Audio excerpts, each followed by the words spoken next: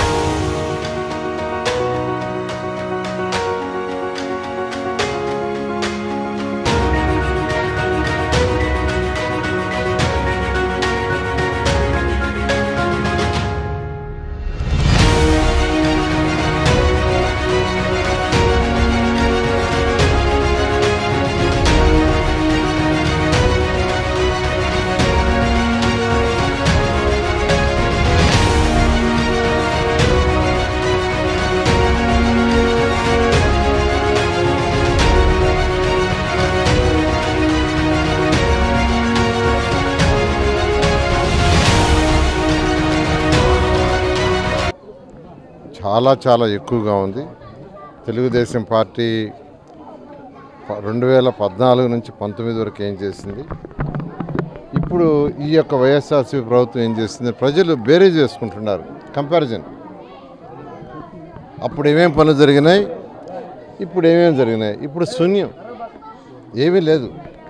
అంటే కనీసం రెండు వేల పద్నాలుగు నుంచి పదిహేను దాకా వర్క్లు టేకప్ చేసి నైంటీ నైంటీ ఫైవ్ పర్సెంట్ పూర్తయిన పనులు బ్యాలెన్స్ ఐదు పర్సెంట్ పది పర్సెంట్ ఉంటాయి. వాటిని కూడా వదిలేస్తారు ఈ నాలుగున్నర సంవత్సరం. వాటిని వదిలేస్తారు మీ అందరికీ తెలిసిందే underground sewerage underground sewerage complete చేస్తుంటే దోమలు లేని నెల్లూరు టౌన్ అయ్యేది నెల్లూరు నగరం. యాభై నాలుగు డివిజన్లలో అండర్ గ్రౌండ్ పూర్తి చేస్తుంటే దోమలు లేని నెల్లూరు సిటీ అది. దోమలు ఎక్కడొస్తాయండి దోమలు వచ్చేది మన యొక్క సైటి కాలువల్లో. ఈ కాలువల్లో మురుగు చేరటం వల్ల ఆ మురుగులో అవి ఎక్కువ డెవలప్ అవుతాయి. వాటర్ అంతా అండర్ గ్రౌండ్ లోపల వెళ్ళిపోతే మనకు ఏదైతే ఇప్పుడు డ్రైన్స్ ఉన్నాయో వాటిలో నీళ్ళు నిలవు. అయితే కొందరు అడగచ్చు ఎందుకు కట్టారని? వర్షాకాలం వచ్చేప్పుడు నీళ్ళు పోవటానికి అవి. ఏదైతే ఓపెన్ డ్రైన్స్ ఉన్నాయో ఆ ఓపెన్ డ్రైన్స్ కట్టింది కేవలం వర్షాకాలంలో రోడ్ల మీద పడ్డ నీళ్ళు బిల్డింగ్ల మీద పడ్డ నీళ్ళు పోవటం మాత్రమే. అండర్ గ్రౌండ్ సివరేజ్ ద్వారా బాత్రూంలో కానీ టాయిలెట్స్లో కానీ వంటగదిలో కానీ వచ్చే ప్రతిదీ దాని గుండా పోయే విధంగా ఏర్పాటు చేసాం ఐదు వందల యాభై కోట్లు సుమారుగా దానికి చేసి నైంటీ పర్సెంట్ అయిపోయింది. ఆ టెన్ పర్సెంట్ కరెక్షన్ ఇచ్చి చేసేసి ఉంటే దోమలు లేని నెల్లూరు నగరం అయ్యిండేది. అదేవిధంగా డ్రింకింగ్ వాటర్. ఎట్లాంటి ప్రాజెక్టు? పెన్నా నది నుంచి డ్రింకింగ్ డ్రా చేస్తారు. పెన్నా నదిలో ఎండాకాలం వాటర్ కిందకి వెళ్ళిపోయి ఎర్రటి నీళ్ళు మురికి నీళ్ళు వస్తున్నాయి. అటువంటిది ఎందుకు ఉండాలని సంగం బ్యారేజ్ నుంచి ఒక ఐదు వందల యాభై కోట్లతో ఒక ప్రాజెక్ట్ తెచ్చాం. అది కూడా నైంటీ పర్సెంట్ అయిపోయింది. సంగం బ్యారేజ్ పక్కనే కొండపైన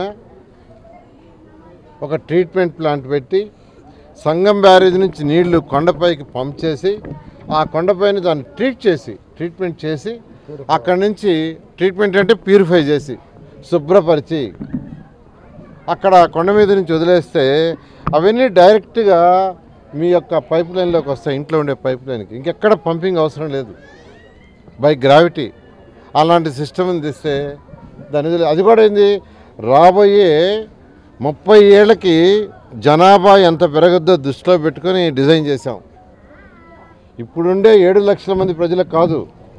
నెల్లూరు సిటీలో ఉండే ఏడు లక్షలకే కాదు. రాబోయే ముప్పై సంవత్సరాలలో ఎంతమంది నెల్లూరులో పెరుగుతారో జనాభా ఎస్టిమేషన్ వేసి దాని ప్రకారం డిజైన్ చేసాం డ్రింకింగ్ వాటర్ కానీ డ్రైనేజ్ కానీ. బ్రహ్మాండమైన ప్రాజెక్టులు పదకొండు వందల కోట్లతో. దాని కనెక్షన్ ఇవ్వాల? మా మీద కోపం ఉండొచ్చు కానీ ప్రజల మీద ఎందుకు కోపం? ఇప్పుడే యాక్చువల్గా నేను వస్తూ ఉంటే ఒక అతను కారులో ఎక్కాడు బయట వేరే జిల్లా నాయకుడు. ఆయన మాట్లాడుతా నెల్లూరు చాలా ఎండలంట కదా సార్ మామూలుగాను. ఈ యొక్క తుఫాన్ వస్తే తప్ప వర్షం ఉండదంట. రిమైనింగ్ మంత్స్ అంతా ఎండలు చాలా ఎక్కువ అంట అని అంటే నేనన్నా ఆ ఎండలు దృష్టిలో పెట్టుకొని ఎక్కడైతే టౌన్ బస్ బస్ స్టాంపులు ఉంటాయో అక్కడంతా ఏడు బస్ షెల్టర్స్ చేసావు. AC bus shelters. AC bus shelters. అవన్నీ క్లోజ్ చేసి ఉండారు అవన్నీ క్లోజ్ చేశారు. అదేమంటే నెల్లూరుకి ఎందుకు ఏసీ బస్ షెల్టర్స్? అంటే నెల్లూరు ప్రజలకు అవసరం లేదా? ఎవరికి కావాలా? కాబట్టి ఈ విధంగా ఒకటి కాదు అనేక పనులు అన్నా క్యాంటీన్స్ కావచ్చు లేదా అనేకమైన ఇంకా ఒకటని కాదు పార్కులు కావచ్చు. ఇప్పుడు యాక్చువల్ ఇవాళే నేను ఒక మ్యారేజ్కి పోయాను. అది నలభై ఆరు అనుకుంటాను. ఆడెదురుగా పార్క్ చూసేవాళ్ళు చెప్పారు సార్ మీరు చేసిన పార్క్ అని. ఆ పక్కనే ఉండే బిల్డింగ్ పైన ఫస్ట్ ఫ్లోర్లో మ్యారేజ్ నలభై ఐదా? నలభై ఐదు. నలభై? ఎనిమిది? నలభై ఎనిమిది. ఆ కళ్యాణ మండపం ఫస్ట్ ఫ్లోర్లో ఎక్కి అన్ని చూస్తే అంతా గ్రాస్ గీస్ అంతా మొత్తం పోయింది. మెయింటెనెన్స్ లేదు అధ్వానంగా ఉంది. పార్కులు ఎంత ఖర్చు అవుతాయండి మనం పెట్టే ఖర్చుల్లో మనకు అయ్యే ఖర్చులో నెల్లూరుకు వచ్చే ట్యాక్సుల ఇన్కంలో అది చాలా చాలా తక్కువ. నాయకులు ఆలోచించాల్సింది ఏంటంటే ప్రజలకు అవసరమైనవి ఫస్ట్ చేయాలా. అసలు ఆ పార్కులు చేసినప్పుడు జిమ్ ఎక్విప్మెంట్ పెట్టించాను. ఎప్పుడు కూడా పార్కుల్లో జిమ్ ఎక్విప్మెంట్ అంటూ ఉండేది కాదు. యాభై డీజిల్ ఒక ఏదో ఒక చిన్నది ఉండేది. ఈ విధంగా నేను నెల్లూరులో అన్ని పార్కుల్లో జిమ్ ఎక్విప్మెంట్ పెట్టించా. ఆ రోజు పిల్లలు ఎంత బాగా ఆడుకునేవాడు ఇప్పుడు కూడా ఆడుతున్నారు. కాబట్టి నాయకులు అంటే యాక్చువల్గా ప్రజల అవసరాలు ఏంది? డే బై డే వాళ్ళ డెవలప్మెంట్ ఏంది? ప్రతి ఒక్క ఆర్థిక స్థితి ఎలా పెంచడం? ఇది ఆలోచించాలా? అంతేగాని కొట్లాట్లు. ఎంతసేపటికి డిస్ట్రక్షన్ పాలిటిక్స్ కన్స్ట్రక్షన్ పాలిటిక్స్ కాదు. ఏదైనా కన్స్ట్రక్షన్ డిస్ట్రక్షన్ ఉంటుంది. అంటే ఎదుటి వాళ్ళని నాశనం చేస్తే ఎదగటం ఒకటి. రెండోది మనకై మనమే డెవలప్మెంట్ కావటం ఒకటి. ఈ డిస్ట్రక్టివ్ పాలిటిక్స్ వద్దు. ఇప్పుడు ఓటర్ వెరిఫికేషన్ పోయారు. యాజ్ పర్ సిస్టమ్ పోయారు. చట్టం ప్రకారం పోయారు. వాళ్ళని చట్టాన్ని అధిగమించి పోలా? వాళ్ళని కొట్టటాలు. ఆ వీడియో చూస్తే భయంకరంగా ఉంది. ఆ కొట్టడం ఏంది? అసలు కొట్లాట ఏంది ఏదన్నా ఉంటే చెప్పు. పోయి కంప్లైంట్ చేయి. మున్సిపల్ కమిషన్ కంప్లైంట్ చేయి. అంటే కలెక్టర్ కంప్లైంట్ చేయి. తప్పులేదు వాళ్ళు యాక్షన్ తీసుకుంటారు. అంతేగాని కొట్లాట్లు ఇవన్నీ ఎవరు ప్రజలు హర్షించరు. నేను చెప్తున్నాను కదా ఎవ్వరు హర్షించరు. కాబట్టి ఖచ్చితంగా ఇవన్నీ ప్రజలు గమనిస్తున్నారు. ప్రతి ఒక్కరు ఎందుకంటే ఎక్కడికి పోయినా ప్రజలు వాళ్ళు చెప్పేస్తున్నారు. రెండు వేల పంతొమ్మిదిలో నేను క్యాన్వాస్ చేశాను ఆ రోజు నేను చెప్పుకునేవాడిని. ఏది అండర్ గ్రౌండ్ కానీ డ్రింకింగ్ వాటర్ కానీ రోడ్లు ఎండ్ టు ఎండ్ రోడ్లు. అసలు నేను మర్చిపోయా. వాళ్ళే గుర్తు చేస్తున్నారు end to end roads. End to end roads ఎందుకు చేసాం జనరల్గా ఒక నలభై అడుగుల రోడ్డు ఉంటే ఒక ఇరవై అడుగులు రోడ్డు వేస్తారు అటుపక్క పది అడుగులు ఇటుపక్క పది అడుగులు వదిలేస్తారు. ఎందుకు వదిలేస్తారంటే సేవింగ్కి అంటే తక్కువ ఖర్చుతో రోడ్లు వేయటానికి. కానీ రెండు వెహికల్స్ వచ్చినాయి. ఒక వెహికల్ రోడ్డు మీద ఒక వెహికల్ రోడ్డు దిగద్దు పక్కకు పోద్ది. ఆ టైర్లు ఆ మట్టిని అంటించుకుంటాయి. మళ్ళీ తీసుకొని సిమెంట్ రోడ్డు మీదకి ఎక్కిస్తాయి. అలా ఉండకూడదని ఎండ్ టు ఎండ్ సిమెంట్ రోడ్లు వేస్తే రెండు వెహికల్స్ వచ్చినా మూడు వెహికల్స్ వచ్చినా మట్టిని తొక్కకుండా సిమెంట్ మీదే ఉంటాయి కాబట్టి రోడ్ల మీద డస్ట్ ఉండదు. రోడ్ల మీద డస్ట్ ఉన్నప్పుడు పొల్యూషన్ ఉండదు. పొల్యూషన్ ఉన్నప్పుడు ఆరోగ్య పరిస్థితులు మెరుగవుతాయి. ఇవన్నీ ఆలోచించి ఇవన్నీ స్టడీ చేసాం ఇవన్నీ సైంటిఫిక్గా స్టడీ చేశా. సింగపూర్ యూకే యుఎస్ఏ అనేక కంట్రీల్లో ఉన్న సిస్టమ్ని వాళ్ళు ఎందుకు అలా చేస్తున్నారు? ఇవన్నీ స్టడీ చేసే ఎండ్ టు ఎండ్ రోడ్స్ ఈరోజు నెల్లూరులోనే కాదు అనేక మున్సిపాలిటీస్ చేసాం ప్రజలందరూ వాడు గుర్తు చేస్తున్నారు నాకు. నిజంగా నేను చెప్తున్నాను ఖచ్చితంగా రెండు వేల ఇరవై నాలుగులో తెలుగుదేశం వస్తుంది. ఏ వర్క్స్ అయితే మిగిలిపోయిన అన్ని వర్క్స్ని హండ్రెడ్ పర్సెంట్గా పూర్తి చేస్తామని మీ అందరికి తెలియజేస్తున్నాను. థ్యాంక్ యూ నమస్కారం. ఈరోజు భవిష్యత్తు గ్యారంటీ కార్యక్రమంలో మా నారాయణ గారు నలభై తొమ్మిదో వార్డులో పని ఈరోజు పర్యటిస్తున్నారు.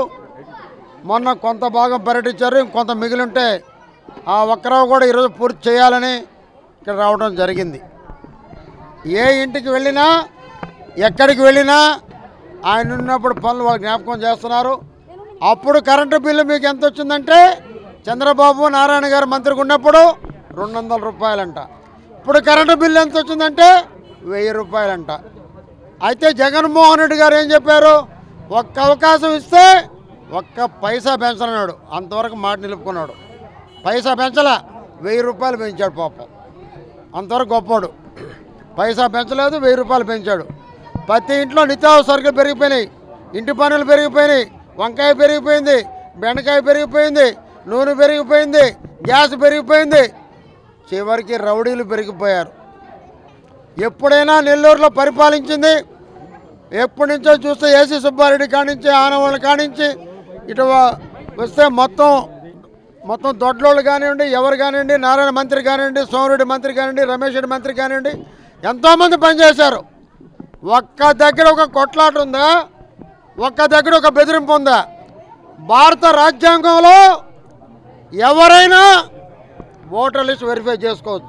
ఫర్ ఎగ్జాంపుల్ నేను ఇండిపెండెంట్గా పోటీ చేస్తాను అనుకోండి. నా తరఫున ఇంటింటికి పోయి ఐదు ఓట్లు ఇవ్వచ్చు.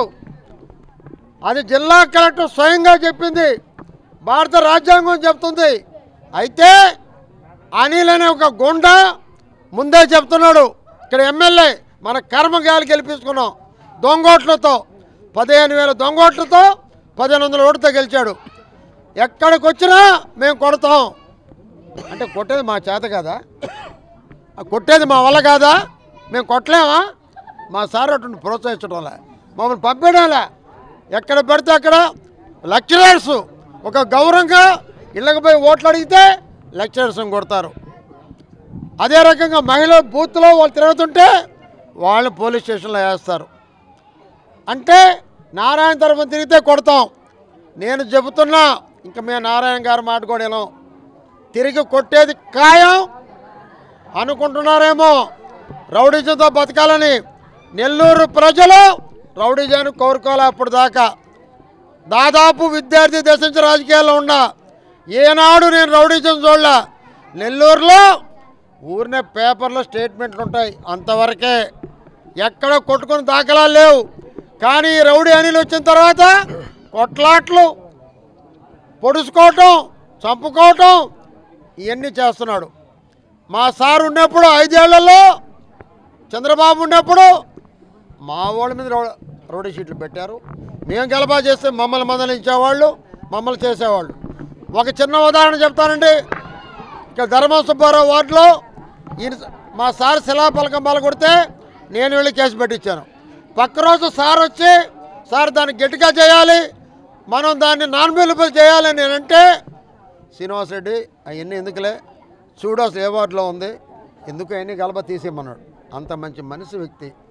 కావాలంటే ఆయన ఇరికేయాలనుకుంటే మొత్తం ఇరికించవచ్చు మొత్తం ఇల్లు పగల కొట్టవచ్చు ఈరోజు ఇల్లు పగల కొడుతున్నారు బెదిరిస్తున్నారు. మీకు మీకు పెన్షన్లు తీస్తామంటున్నారు మిమ్మల్ని కొడతామంటున్నారు. నేను ఒకటే చెప్తున్నా ఈ ఎన్నికలు ఒక రౌడీకి అభివృద్ధి ప్రజాతికి మధ్యన జరుగుతూ ఉంది. రౌడీజాని నెల్లూరు ప్రజలు సహించరు. రౌడీజాని మేము సహించం. ఇక తరిమి తరిమి కొట్టడానికి సిద్ధమవుతున్నాం. జాగ్రత్తగా ఉండండి. ఏదైనా మంచిగా ఉంటే మంచిగానే ఉంటుంది. లేకుంటే చెడుగా ఉంటే చెడుగా వస్తామని కూడా హెచ్చరిస్తున్నాం.